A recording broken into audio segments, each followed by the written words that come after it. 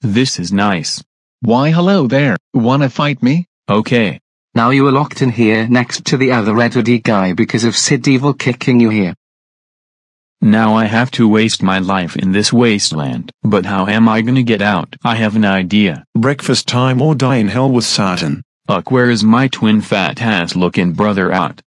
Hello brother sorry but I might have killed a prisoner. Anyways what are you doing here? Weren't you supposed to escape? It's 5 minutes and 39 seconds long what do you expect Dallas to do? Do not question the hard work I had made into IT you dumb little animal.